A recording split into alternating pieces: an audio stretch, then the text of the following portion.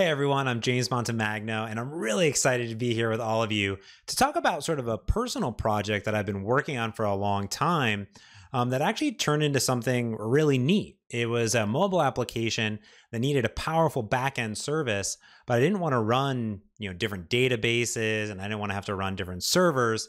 So I leveraged Azure Functions with my Xamarin mobile applications for iOS and Android to create these mobile serverless applications. And that what I, that's what I want to talk about today. Taking mobile development serverless with Xamarin and Azure Functions. I'm James Montemagno. I'm a principal program manager lead for the .NET community here at Microsoft.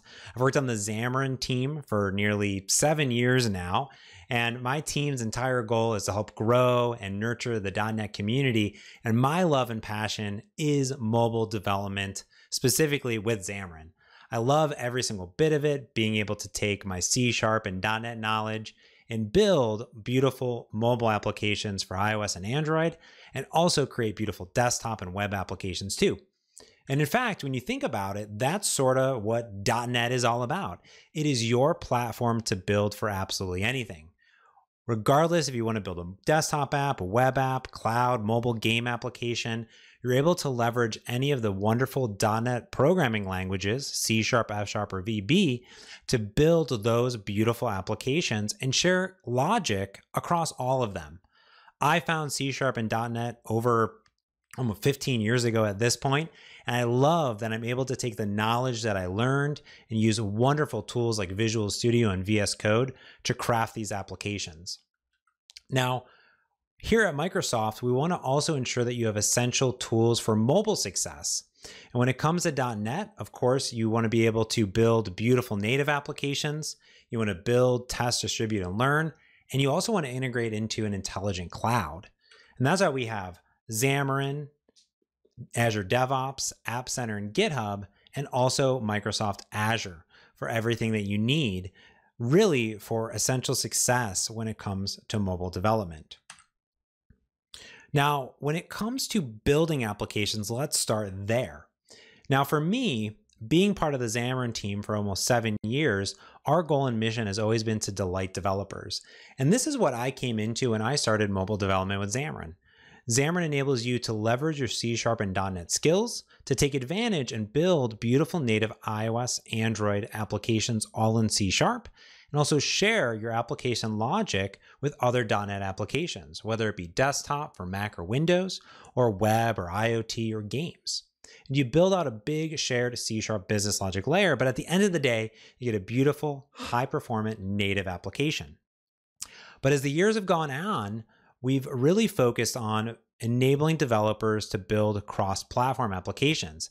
That's why the team is dedicated to ensuring that you have essential libraries that enable you not only to get access to iOS and Android APIs, but to build out cross platform native user interface and access those native APIs for iOS and Android from your shared business logic. That's where Xamarin Forms and Xamarin Essentials comes in. Here we can see that you'll always have your business logic on the bottom. That's your models, view models, RESTful service calls.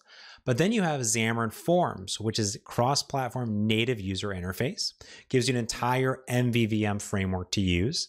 And then you have Xamarin Essentials, another library from an amazing team of developers here at Microsoft, giving you access to over 70 native features such as uh, camera, connectivity, um, picking folders and files, um, vibration, text to speech, all from shared cross platform APIs. So this means that as a developer, you have access to build cross platform native UIs, access native APIs for each platform, all from 100% shared code. But you always have access to the underlying native platform from C Sharp for iOS, Android, or the desktop operating systems. And this is what's truly awesome. Let's talk really quick about that native API access. And this is something that has been near and dear to my heart, but also Xamarin's heart as its core foundation for many years, is enabling you to access these great APIs from C Sharp. Now, as the different operating systems have gone on, a lot of these APIs are similar. So instead of, instead of having to learn iOS APIs, Android APIs, Windows APIs, Mac APIs, the team came together and they built Xamarin Essentials, which gives you a single API to access those native features. And there's about 70 of them built in. It's completely open source under MIT, uh, available on GitHub as well. So you can go and check out the source code and you just add it as a dependency NuGet into your project. In fact, every single Xamarin application, when you do file new, has Xamarin Essentials built right into it. Now, when it comes to the user interface, I talked about Xamarin Forms. It basically does very similar things to Xamarin Essentials, but instead of native platform features, it gives you native API access for user interface. So instead of having to create three different UIs, you create one beautiful cross-platform UI with Xamarin Forms. So for example, over here on iOS, we have a UI activity indicator on Android, a progress bar. Well, instead of making that twice, you create one cross-platform XAML user interface and you get one API with Xamarin Forms called Activity Indicator. Over here for a slider, you have UI slider and seek bar. Well, you get one slider. They have their own properties, they have their own names, but at the end of the day, what Xamarin Forms does is it gives you that abstraction while still leveraging the native APIs for the user interface. So even though you're accessing creating a Xamarin Forms slider, what's displayed to your users is the native UI slider and the native seek bar on Android, and of course for Mac and Windows as well.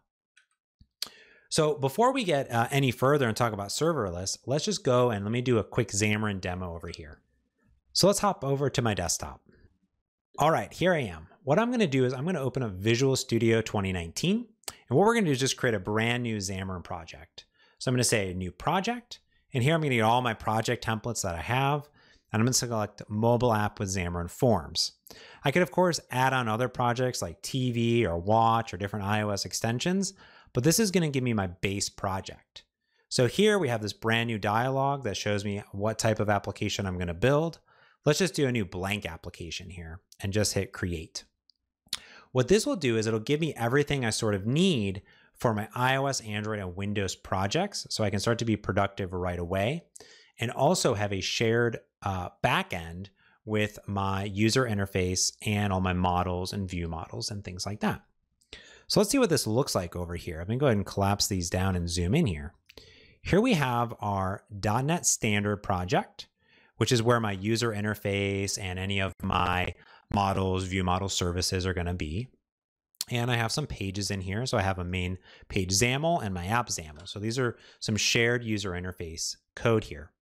Then down here, we have our Android, iOS, and our Windows projects. And these are our head projects. So if I wanted to access native APIs there, I could go ahead and write some code in those projects and get access to the native APIs in C Sharp. But for most of our work, we're just going to do everything in our XAML pages here. So what I'm going to do is um, just first start over on Windows. And let me just go ahead and compile this up. And what we'll see over here is I have um, a XAML page that has a stack layout, has a frame here that says welcome to Xamarin Forms with a background color. I have a few labels here. It's kind of telling me how to start my development. And I'm just going to hit debug over here. And what this is going to do is just start my application right on the desktop. There we go. And let's just go ahead and let me just pin this over here and bring this over here and move this over here. There we go. So I have my app on the right hand side. And the first thing I want to show you is on the left hand tree in Visual Studio is my live visual tree. This is going to show me all of my elements that are on this page. So I can actually click on it, go to it. What's really nice here is that I can also um, come in, I can start to modify my user interface right here. So let's say I want this to be pink. I get rich IntelliSense. Uh, as I sort of um, hover and update on this, we can see that it updates in real time. I can say, welcome to Xamarin Forms. And I'll say, hello, AZ dev conf. Then I'll update and I don't even have to hit save. I immediately get that really tight iteration loop directly on my PC. So I have all of these changes here, and this is really nice. This is iterative hot reload. It's sort of hot reload version two. And what I can do is prove that this is actually just doing a diff, because let's add an entry in here. There we go. And I can say, hello, everyone, exclamation point. And now what I'll do is I'll change this back to, let's say, blue. And notice that over here inside my application, the state is saved, which is really neat, while the background color has been updated automatically for me. So I get all my features here of my live visual tree, my hot reload, everything that I need. And when I'm ready to go to iOS and Android, I just simply set iOS or Android as the startup, and I can come in and I can select one of the devices and hit debug. What this will do is now take my changes in my application, compile up a native Android application, and then deploy it right to my Android emulator. And the teams worked really hard to ensure that the Android emulators work really great with Hyper-V. So if you're doing Docker deployments or other things like that, it's going to work great out of the box. Or if you're using AMD, it will also work great there. So like I said, this is going to go through some iteration. It's going to go and uh, deploy uh, the application. We can see it's actually signing, it's copying. It's going to start a real live debug session on my Android emulator. So let's go ahead and uh, bring that up over here. There we go. It says, hello, AZ DevConf. I get the same exact user interface controls that I would expect um, inside of Visual Studio. I get my live visual tree, so I can tap around. It takes me right to the code. Again, I can say hot pink, hit save. I get the adornment there. It updates in real time for me. So I can start working and iterating on my application, regardless if on iOS, Android, or Windows. And if I'm on iOS, you can actually just take your iOS device, plug it into your Windows machine, and use a technology called um, iOS Hot Restart that enables you to rapidly iterate on your iOS application directly over USB for Xamarin Forms, which is really neat. So there you go, a very quick introduction. What a Xamarin Forms application looks like. Uh, let's head back over to the slides really quick. All right, now that we have our application, let's talk about what you do next, which is build powerful backends. And that's where Microsoft Azure comes in. Now, Azure has tons of great SDKs that you can integrate directly into your mobile applications today. So things like data from Azure SQL, Azure Storage, Cosmos DB, to machine learning, to cognitive services, to different app service APIs, and other things like Azure Search, Service Bus, Identity, all are compatible because it will work with any .NET application. That means if you're using cool technologies like SignalR for real-time communication, those SDKs are going to work inside of your Xamarin applications. So you can leverage all of this existing infrastructure and knowledge directly in your Xamarin applications. Now, I specifically want to talk about serverless. And when I started off, you know, I didn't want to have to worry about, you know, spinning up different web service APIs and doing different connectors and looping in. And I really wanted to use the latest and greatest technology. So I wanted to think about taking my application serverless. And this is where um, Azure Functions come in. It's an amazing service, part of Azure, that enables you to build out local event driven modules or functions, obviously, if you will, um, that can scale on demand. This is neat because you don't have to think about how many VMs do I have? How, how am I scaling out or up or across? Azure Functions does that all for you. You scale and you pay for only what you consume. So the milliseconds of time that your functions are running. One of the coolest parts is that you can develop them directly in Visual Studio or Visual Studio for Mac or even Visual Studio Code. Develop them locally on your machine before you deploy to Azure. Now, this is one of the things that I super duper love about functions is that you can not only develop them locally, but you can develop them in C Sharp. In fact, Azure Functions supports all sorts of different languages out there, like JavaScript and Java and a bunch of other ones. But I love that I can actually share and use C Sharp and .NET directly on my machine with Azure Functions and then deploy it and then connect directly from my mobile applications or any other application because it's just a function. Now, when I say event driven, what I mean by that is that there are triggers or how does this thing start? Um, so there's a lot of different scenarios that um, that work with Azure Functions. So for example, here, let's say that you have a PDF file um, that you're going to add to blob storage. Well, that could trigger off an Azure function that grabs that PDF file, runs it through cognitive services for OCR, and then puts it into a SQL database automatically. So the trigger here has an input, which is that PDF file, and an output, which is that SQL database entry. Another one is you have a mobile application that's calling a web API that then inputs data into Cosmos DB, maybe perhaps then triggers off data transfer functions and then sends a notification back to all the mobile applications when it's done automatically for you. So this way you're not doing the processing inside of your mobile application. It's just a function waiting out there to be triggered. Or how about this one? Maybe just a scheduled task that automatically runs every 15 minutes to just remove duplicated data entry inside your database. It's an amazing way of cleaning up data all with Azure Functions. So you can use these Azure Functions directly from your mobile applications by calling them or in as a complement, right? You could have them upload, anyone could upload a file into blob storage but your mobile application could too. And then it could then fire off, resize something, or do something with that file. So before we talk about combining the two, let's just go ahead and do an Azure Functions demo here. So what I'm going to do is close out of this Visual Studio. We'll just hit don't save there. And I'm going to open up a new instance of Visual Studio here, and we're going to create an Azure function. So again, I'm going to say create new project. Now here I also have an Azure function. So I've added the Azure um, uh, SDK. I'm going to hit next and just say function app 2. That sounds good. There we go.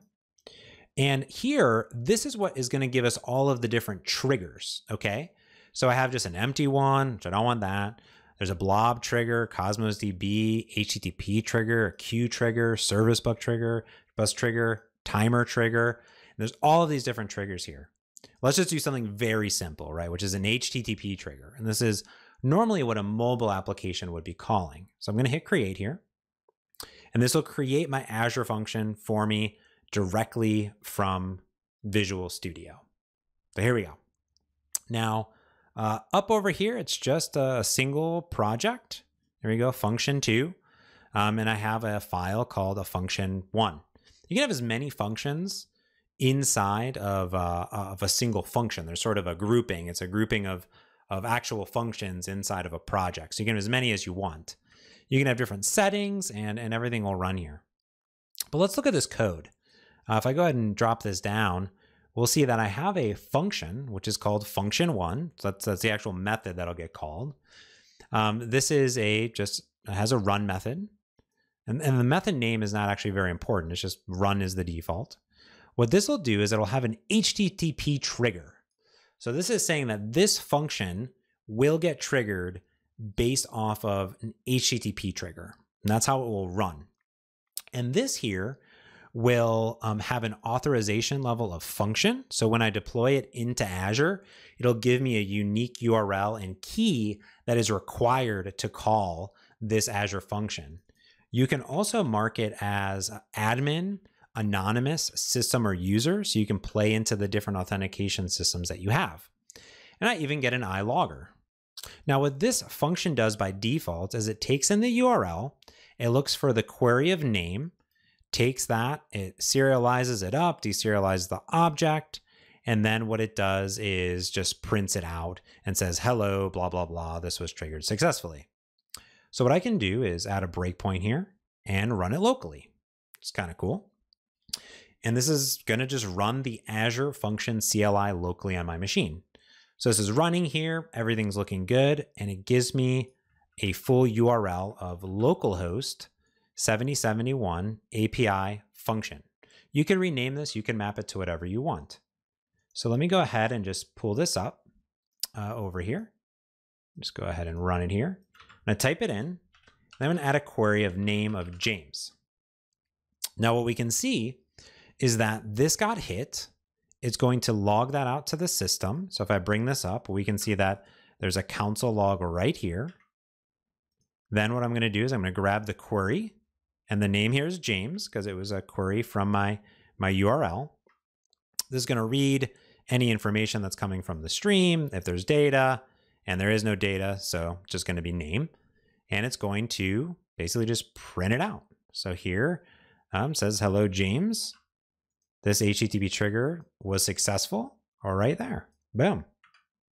And it just called. So anybody could call this if I deployed it, and I could then process it and do whatever I want. All right, let's do something uh, a little bit cooler with uh, the Azure functions.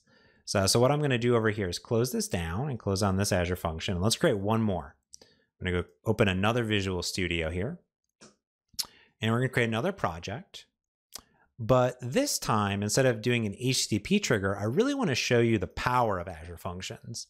So what I'm going to do is I'm going to create a, a blob trigger here. So this is for Azure storage. Um, and that's what I would, would want to um, go ahead and use. And here we can see it's going to look for anything that's coming into samples work items. Okay. So I'm going to hit create. And what this will do is give me another function inside of, of this project. And I could have added another function previously, but I'm just going to go ahead and just do it right here um, with this one. So again, we're going to get our Azure function. We have our, you know, single project. We have our function here, and we have different settings. But if we look, I uh, it looks a little bit different. Let me go and drop this down a little bit for us here. And what we see is that instead of a HTTP trigger, we have a blob trigger. And that means that it's going to be connected to our Azure storage. And by default, when I debug locally, it'll be my local Azure Storage Explorer. And whenever a new file is added, it will automatically trigger and pass in a stream of that file to the function for me automatically. So here it will log the information and then it will go ahead and, and print it out. Now, what I can also do is write a little bit more code here. So for example, uh, what I'll do is let's just go ahead and copy some code in that basically just comes in and reads the blob, reads the text, and then outputs it to the log information. Now, what I'm going to do is I'm going to go ahead and boot up this Azure function here. And what's neat about developing locally is that I not only can test this function uh, for HTTP, but I can also use the Azure Storage uh, Explorer here. Over here, I have uh, I have a blob container emulator with the samples work items right here, which is kind of cool. Um, and I've created another blob container called process, and we'll use that a little bit later. But here, what I'm able to do is let me just go ahead and grab from my desktop this file. There's there's like says hello world, like nothing fancy. I'm just gonna go ahead and drop it in here. Okay. Now it's probably so fast um, that I forgot to put a breakpoint. Uh, but if we look over here, we can see it says hello world. Just dropped it right out. So let's go ahead and, and delete this one and let's go ahead and add it again so we can add the breakpoint here. Go ahead and drop this over. And you can see how fast it is, right? It just immediately hit it. The name of it is new text document.txt. The length over here is 13 bytes. And if I add another breakpoint down here, remove this one, we'll see that the info that's coming in is uh, is hello world. So we can go ahead and pin that on here. And there it is, hello world. Okay, with new lines apparently too. And then I'm just going to print that off to the line. And there we go. Just like that, I'm able to add this into my into my um, my my emulator here and get it running. I could do a bunch of other things, right? I could have processed that text, added into a database. Could have been an image. I could have processed that image. I could have done a lot more. Let's do something a little bit different here because um, I wanted to show the power of not only adding files, but what if I was to take that file and then output it somewhere else? So do an in and an out. So here's what we're going to do is the first thing we're going to do is I'm going to add another um, parameter onto this function. And this is going to be a blob.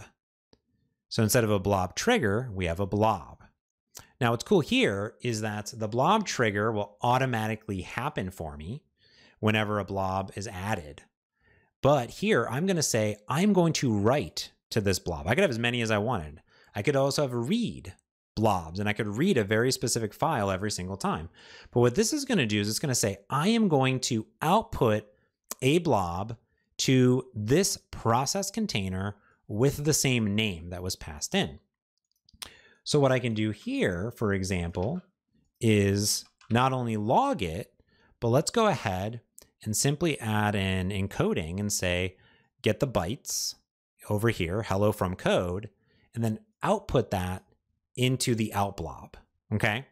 So every time I take it in, I could go ahead and do this. And in fact, what I could do is I could, you know, maybe take this info and then add it in there so we can bind the two together, right? So I'm taking the file, processing the file, taking the data, adding it to a new file whenever that trigger is occurring here. So let's go ahead and boot this up again. There we go. Now what I'm going to do is open it over here. Now let's make sure there's no files in here. There's nothing in here, but here's the sample work. Let's go ahead and drag and drop this file in here, just like that. Got it.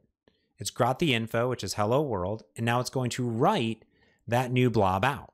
So here it has the file. I go to processed. I'm going to hit refresh. There's the new text document. If I double click and open this, what we're going to see is that it says hello world, hello from code. We've literally taken it from a trigger, parsed that data, created a new file in a different Azure Storage blob container for me, and written that contents out automatically. Now, these are very rudimentary examples of just some of the things you can do with Azure Functions, but I wanted to show you the power in just a few lines of code, me being able to add and access these triggers and blob inputs and outputs. And you can connect to a bunch of different services, not just the ones that I listed earlier. Let's head back over uh, to the slides really quick here. There we go. Cool. So now that we know a little bit about mobile application with Xamarin and serverless backends with Azure Functions, we can combine the two together to make something very powerful.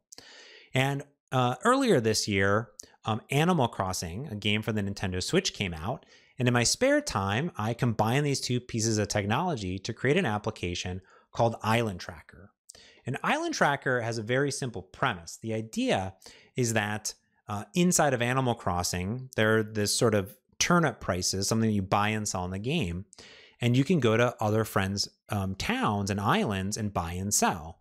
So every day I was text messaging all my friends, and people have WhatsApp groups and things like that. But what I wanted to do was make it very easy to have an application that I could share my data with my friends. And that's where Island Tracker came off of. My goals with this application were to create a beautiful, great looking cross platform iOS and Android app, to be able to track weekly turnip prices and get predictions, sync my data with a backend, have a simple friend system with no login, which I'll talk about here as we talk about this backend, and also be able to view and synchronize our my friends' statuses and prices throughout the week and every single day. And going forward, I wanted to ensure the backend that I picked and the, the front end UI that I picked could also allow me to add push notifications and even add desktop support down the road. So I wanted to ensure that as I was building this application and picking my different um, technologies, that I could implement all of this into my app. And that's where Island Tracker came from. As you can see here, I have a beautiful iOS and an Android application um, where users are able to parse and and and send and share their um, their turnip prices for their towns or predictions or gate codes back and forth easily inside of the application. They can send friend requests, they can do a bunch of stuff back and forth. Now, for the back end, it's very simple. For some reason in my mind, I wanted no databases and I wanted no servers. That's that's what I wanted. Uh, since I was building this in my spare time, I wanted to have uh, it be very very simple to go off and um, not have to worry about scaling up servers, scaling out servers, um, and I didn't want to have to run an Azure SQL server all the time, uh, mostly because I wasn't really sure how popular the app would be. So I didn't want to overinvest, but I wanted to give it a way that I could scale out in the future. And the cool part here is with Azure Functions is that I could then switch backends at any time in the future if I needed to, swap to a database if I needed to, but it could also scale on demand, which means if no one used my app, which would have been sad, I wouldn't have had to pay anything. If tons of people use my application, well, it would have only been um, on demand pay per use. That was my goal because I wanted to use Azure Functions. So, what I did is I combined the power of Azure Functions with Azure Table Storage.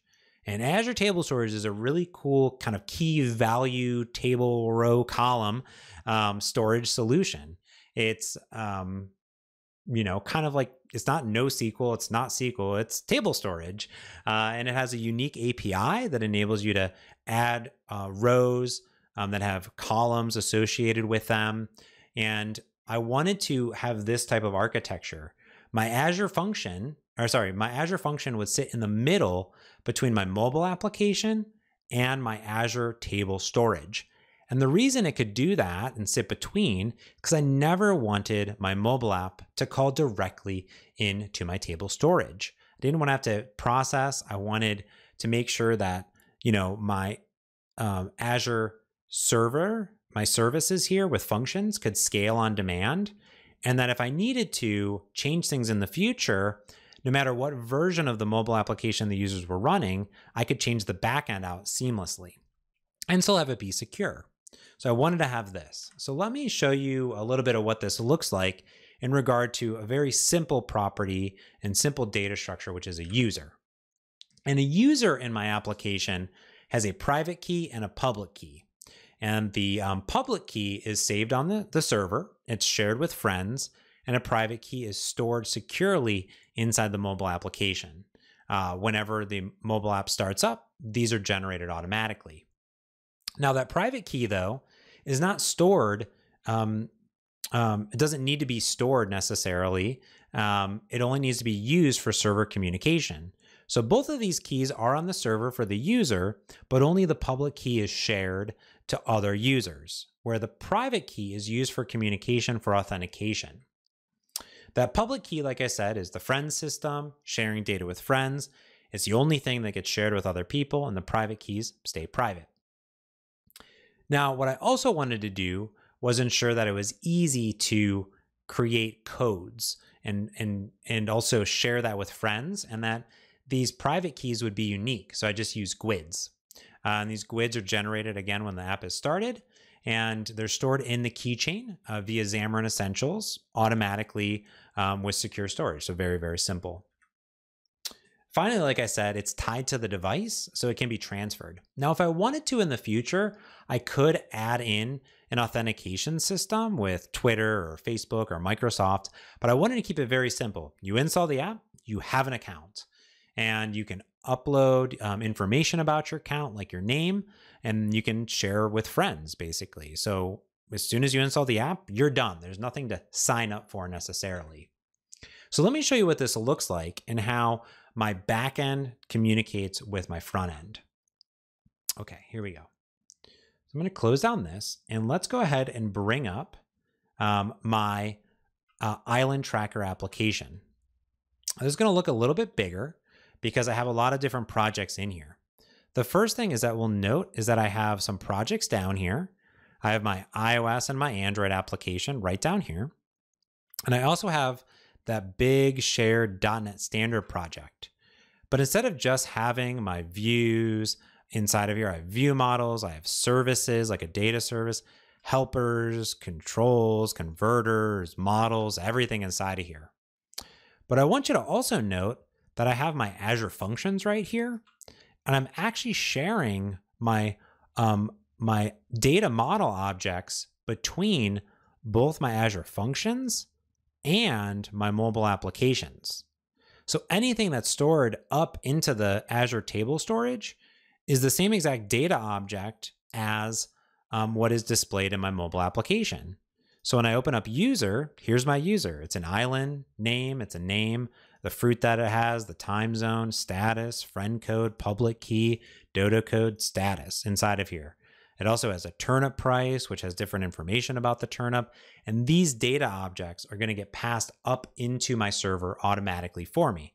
So it makes it very easy to go back and forth because all of my data structures are the same. As soon as I add a new property, it's automatically going to be synchronized between my backend and my front end. So like I said, I have a lot of different different, you know, projects and properties inside of this shared code. So you can see lots of pages, right? inside of here. I have lots of view models associated with these inside of here too. But I also have some Azure functions. So the one I want to show you is create profile. So I use HTTP triggers for all of my different communication between my backend and my front end.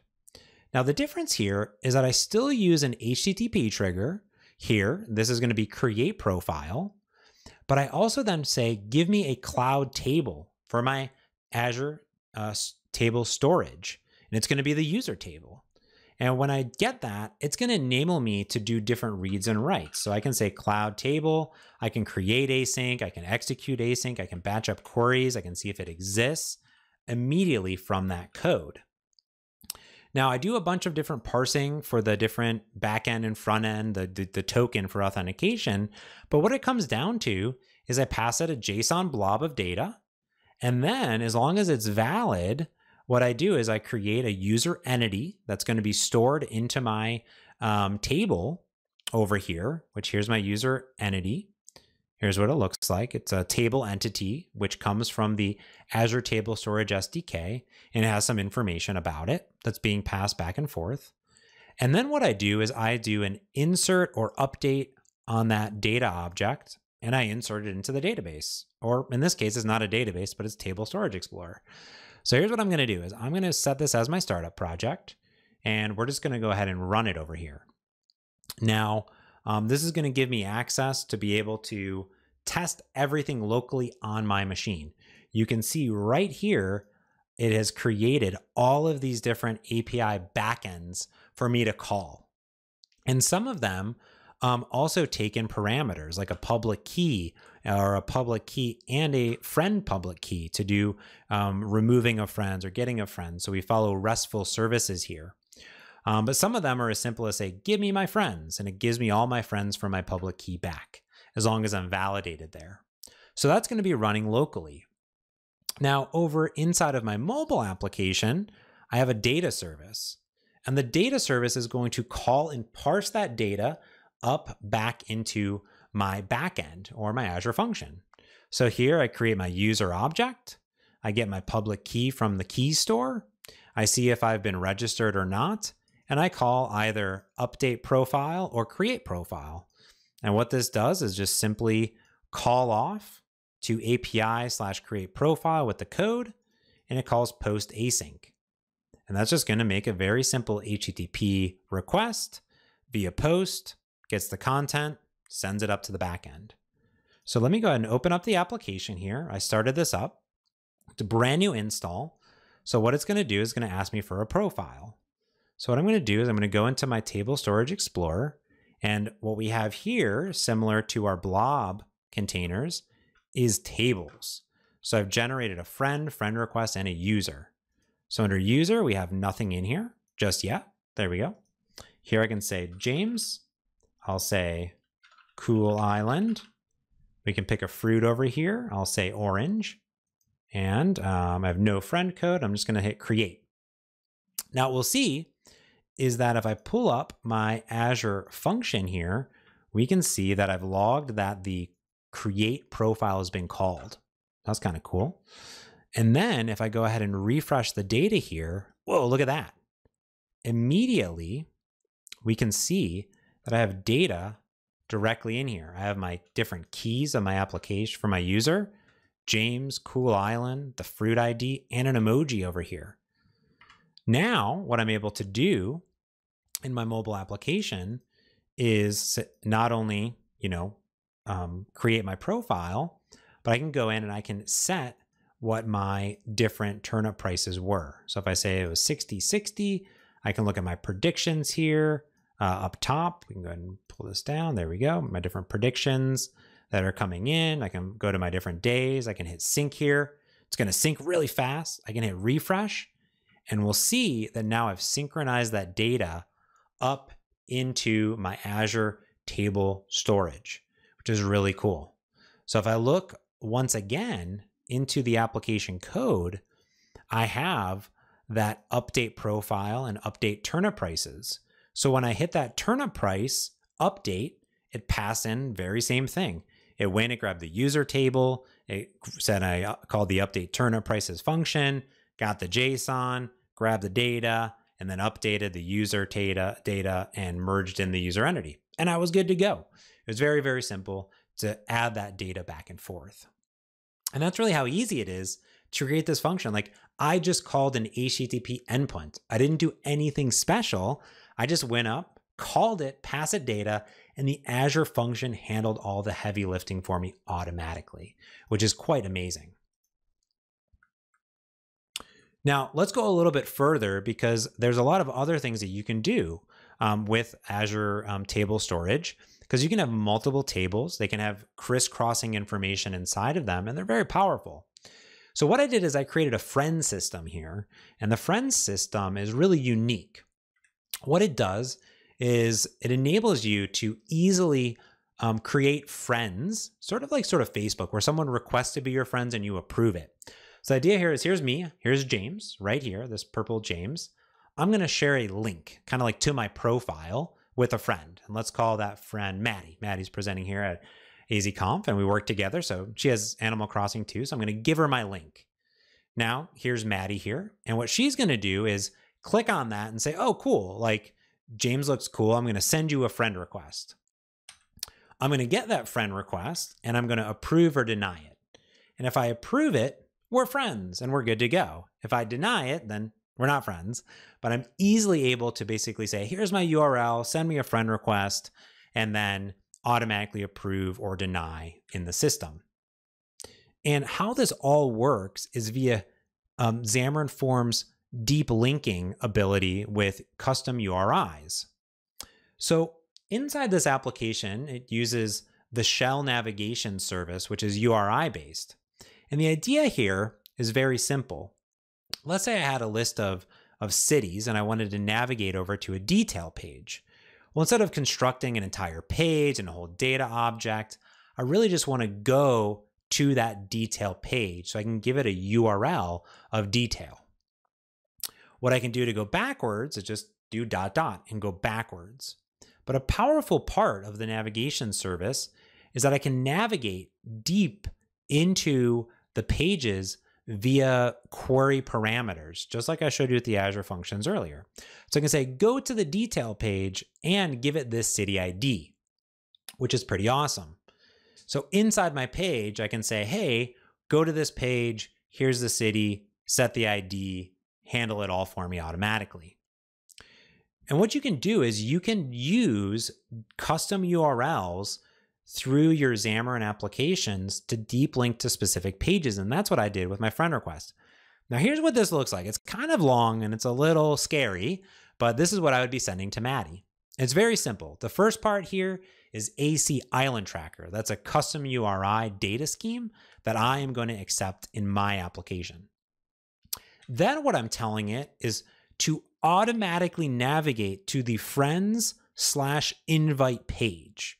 So when this is received, it will automatically, through Xamarin Forms, navigate to friends, to invite, and then go ahead and pass it this information the ID, which is my public ID, and just a display name. So just that way I don't have to do any lookups. I just pass it automatically in my code. Now, what's cool here is that Xamarin Forms, I can handle all of that in one single place inside of the application, I get this little on app link request received. And here what I'm doing is I'm going to go ahead and automatically parse the public key, make sure I'm not myself, that opening it up. I'm then going to go ahead and say go to, and it's going to go automatically to the friend slash invite and pass that data across. And here's what that looks like in action. Let me play this little video here. There we go. I clicked on the link, it went to the friends page. Clicked on the link, went to the friends page automatically, which is really cool. Let me show you what that looks like here in action. So what I'm going to do is I still have my Azure function running here, and I have my main um, one here, and let's open another emulator and open up Island Tracker over here. So now we have two different devices, and this doesn't matter if it was you know iOS or Android. they both happen to be Android. But over here, I'm just going to go ahead and let's create um, a profile. And I'm going to say this is Maddie. And this is going to be um, Xamarin Town. And let's just say that Maddie has uh, cherries or, yeah, just apples are fine. There we go. And hit create. This is going to call that backend. And I want you to note here that um, what we'll see as I refresh is now we have Maddie inside of here, right there, which is cool, right? So here's what's going to happen is I'm going to pop back up my Android emulator and Maddie's now right here. And let's go ahead and maybe, let's just update her prices over here. We'll say 60 and 100 and save those up. Good to go. And now let's become friends. So we can see here we have no friends, but I'm going to go ahead and share my friend code here with Maddie. So what I'm going to do is I'm going to say copy to clipboard. And what I'm going to do over here is um, it's saved in my clipboard, but I'm just going to go ahead and say add manually and hit submit. So what this is going to do is now say, hey, um, do you want to add James as a friend? And I'm going to say, yes, add friend. And it says friend request sent. You will see your friend as soon as they accept the friend request on their app. That's kind of cool. If I look back over into my backend, I have a friend request uh, table. I'm going to hit refresh, and we can see that this is over here a partition key and row key saying that this user would like to be this user's friend. So they're only different by one and two in my in my keys here. So now when I go back over into my other emulator, let's pull that back up and go into um, requests. I can refresh this and I can see I have one friend here. That's kind of cool. I'm going to go into it. It says Maddie would like to be your friend. So let's go ahead and approve it and just say yes. There we go. And close it out. Now, just like that, if we go back into the backend one more time, I'm going to go ahead and clear it out. That friend has friend request has been deleted. And when I look at friends, we can see that each of these users are friends of each other, basically. One and two and two and one are the friends here. Now, when I come back over and I hit refresh, there we go. Just like that, I've become friends immediately in the system, all using serverless compute and Azure Functions with Azure Functions and leveraging Azure Table Storage. I didn't have to create an account. It's all created for me. I didn't have to log in. I didn't have to do anything. All the friends codes, everything is done directly through this. I can go in, I can remove friends. I have everything that I need. I can update it and I can get different predictions as I go, which is really, really neat. So this is super powerful. I think that that this type of development is super quick. It enables you to scale out your services and be super productive directly on your machine here. Now, let's go ahead and close these down and let's wrap it up. Now, hopefully what you've seen is that with Xamarin, you can build beautiful cross-platform native applications and share all of your business logic, your user interface, and native integrations across the different operating systems. You can leverage powerful backend services with Azure Functions to get those inputs and outputs that you may need across different services that Azure provide, like Blob Storage, Azure Table Storage, Cosmos DB, and a lot more. Best of all, you can run them all locally before you deploy them up to Azure or wherever else you want to deploy them. And then what I love, of course, about functions is that they scale on demand and you only pay for usage, which I think is delightful. So if the more you grow, the more it scales, the more you pay, obviously. But as it ebbs and flows throughout the day, you're good to go. There you go. I hope that you really, really enjoyed this presentation and that you're able to now leverage uh, Xamarin for building your mobile applications and also le leverage um, Azure Functions for serverless compute. You can find me everywhere on the internet at James Montemagno. You can send me an email, check out my blog, or just hit me up on Twitter. I also have a podcast called Merge Conflict that you can learn about more. And of course, right over here, I have everything open source on my GitHub page. So when you go to github.com slash James Montemagno, the entire source code is here for you. You can run it all locally on your machine, Mac or PC, and you'll be good to go. I hope that you really enjoyed this session, that you reach out with any questions, uh, and that you go off and build awesome applications, and then please tell me all about them. Have an awesome conference, and thanks for tuning in.